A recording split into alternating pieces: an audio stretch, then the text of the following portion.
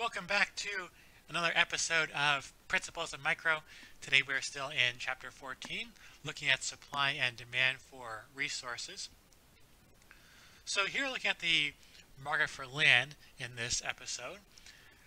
Now, I left out land from being one of the factors of production because most books don't consider land to be a major factor of production. Most books just look at labor and capital being the main inputs. However, I will reintroduce land over here because the market for land is a little bit different. So that difference could be worth knowing about because other markets could be similar in some ways. So without any further ado, let's look at the market for land. So what's weird about land, the supply of land is typically fixed with a few exceptions. Your book talks about um, artificial islands being built in some places, but that is very much the exception rather than the rule. Most of the time, most of the planet, the amount of land available is going to be fixed. So as a result, it's going to simplify our analysis a little bit. We only have to worry about demand shifts rather than supply and demand shifts. So here's one example that I'm very much familiar with. So I grew up in the Seattle area and I still know a lot of people in there and my family is still out there. So one big story in Seattle recently has been the growth of Amazon. That's not just the whole coronavirus shutdown causing them to hire more workers in their warehouses. They've been growing well before that and growing quite rapidly. So their company is headquartered in Seattle and they've been hiring a lot of workers. And my question for you to analyze is how this affect the price of land in Seattle? So go ahead and pause the video here while you work that out. When you're ready with the answer, press play. Alright, I'll assume you have worked through the problem by now. Those workers for Amazon have to live somewhere. So they end up buying land or and that's going to increase demand for land in Seattle. Um, they could also be renting apartments, but that means that the landlords who are building these apartments have to buy more land in order to build them. So either way, demand for land is going up somehow. It could be from workers buying homes or it could be from landlords buying property for new apartment complexes. So demand is definitely going up. What that does is that it's going to increase the price of land in Seattle. So you will not be surprised to hear that land in Seattle has gotten a lot more expensive in the last decade or so.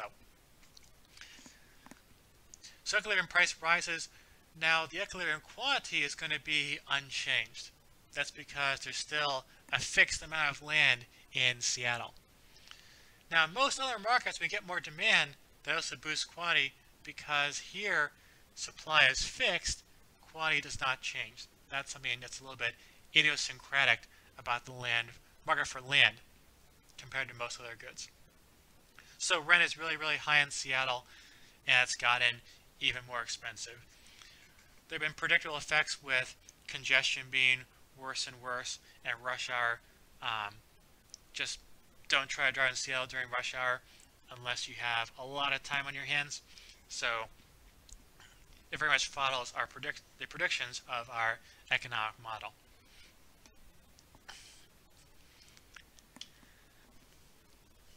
Um, that actually wraps up our section on the market for land. Very short section because you only look at demand shifts, not supply shifts.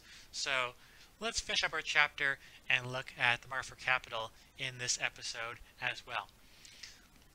So our capital refers to the machines or equipment in a factory. A major consideration for the firm is the marginal product of capital. This is abbreviated as MPK. Now, we know how to spell the word capital. We know it because of the C, not a K.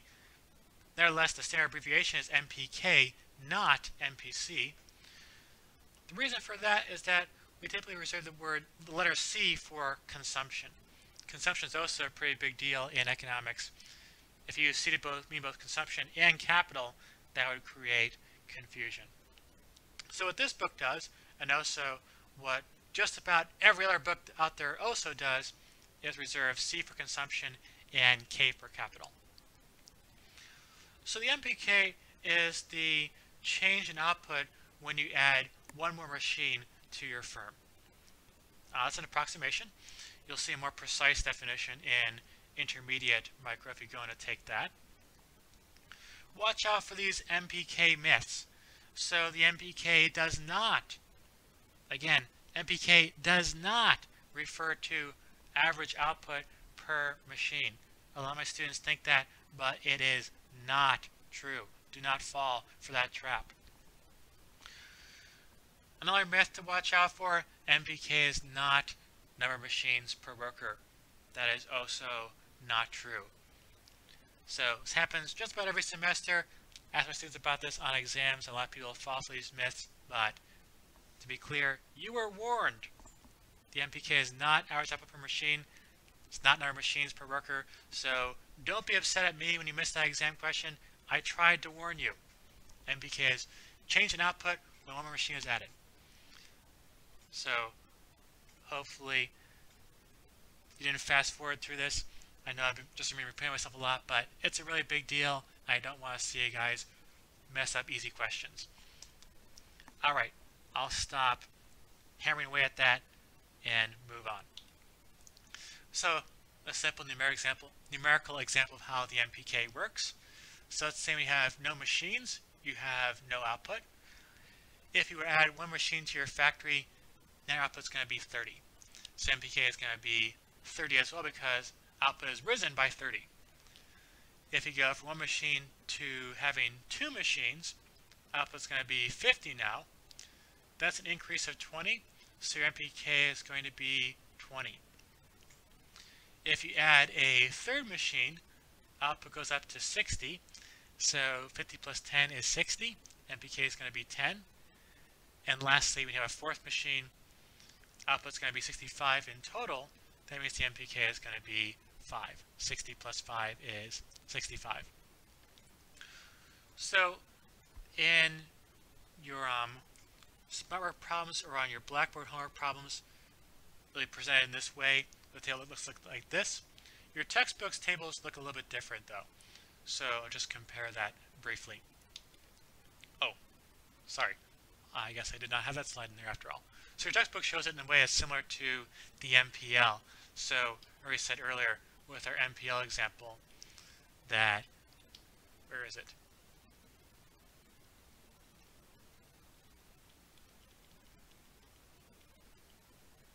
Here we are. So the MPL, your book, uh, with the MPL, your homework problems will look like this, but your book's format is like this. So they put the MPL in between the number of workers. Similar with the MPK, your book shows the MPK being a row in between the number of machines. So that's there, but your problems will look more like this one. So this is the format to focus on. Be sure you can work through problems in that format.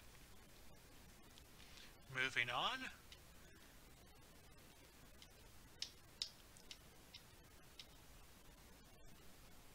All right, here we go. We look at where does the firm's demand for machines come from, or we might call it the firm's derived demand. So three factors go into that. The firm cares about what is the marginal product of capital, the MPK. How productive is that last machine going to be? They also care about the price of the firm's product. So the price of the firm's product goes up, they're going to want to buy more machines to produce more. Now the price goes down, they're going to produce less, and that's going to require them to buy fewer machines. So that also plays a role in the firm's demand for capital. There's also the rental rate for the machine, which we'll call R. So in economic models, we often have the firm renting their machine. This might strike you as being unrealistic because in the real world, don't firms buy their machine? However, you can still justify this approach. So if I'm buying a machine, I gotta think about the opportunity cost. We talked about opportunity cost way back in chapter one. Let me just refresh your memory on how that works. Opportunity cost is a really big deal in economics, so definitely one of the big takeaways from this course. Opportunity cost is the value of the next best option. So if your firm was not spending that money on the machine, what could they be doing instead? Well, they could be putting that money in the bank and earning interest. So perhaps that opportunity cost of interest rate they could be getting instead, that could be R. And that would be still a factor in their consideration for if they want to buy a machine or not.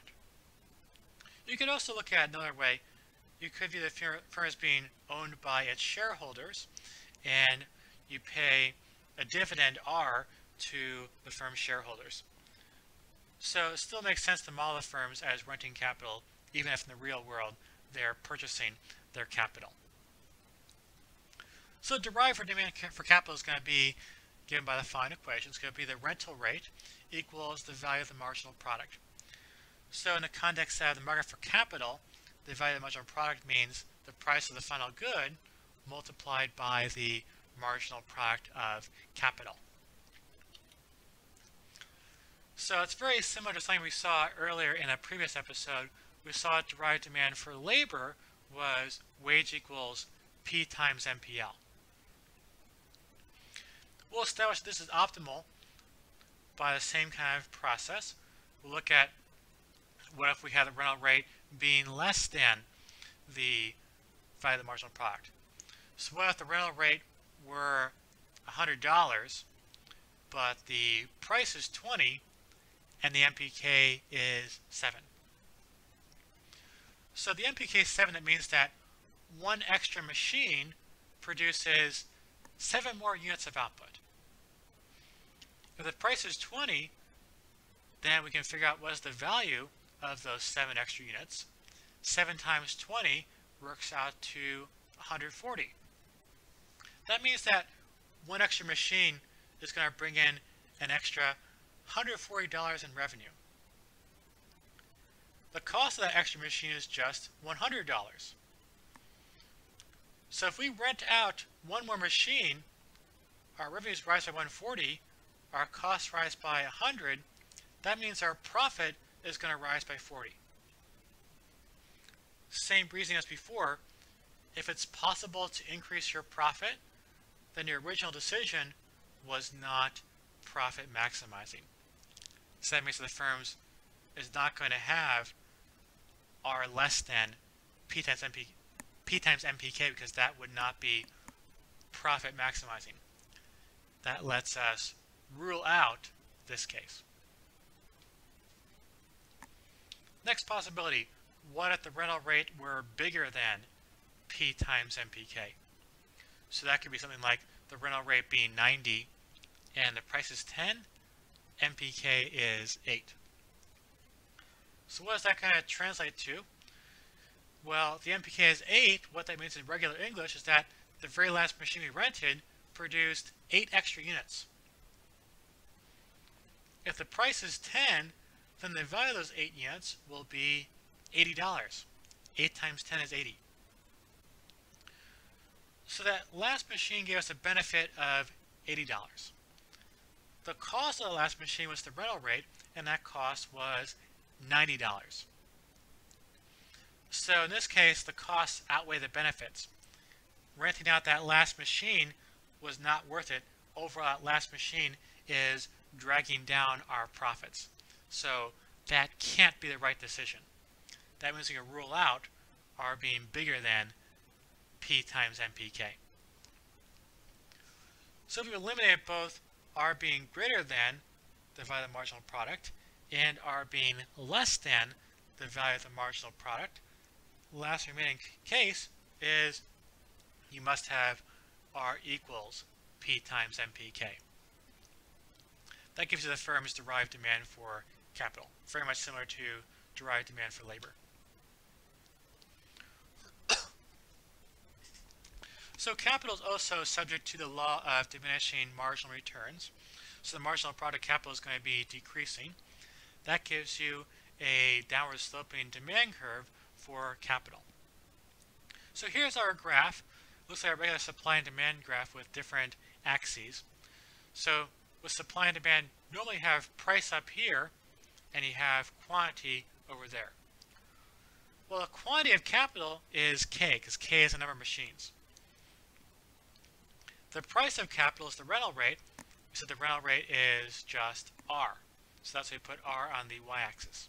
So it's very much mirroring price and quantity from a regular supply and demand diagram. Equilibrium is, as usual, where supply and demand meet. The equilibrium rental rate is R star. Equilibrium number of machines is K star.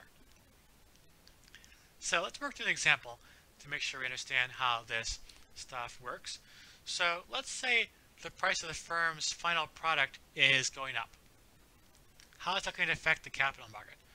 So go ahead and figure out which curve shifts and which direction and find what happens to R star and also find what happens to K star. So pause the video, work through the problem, and then press play when you're done.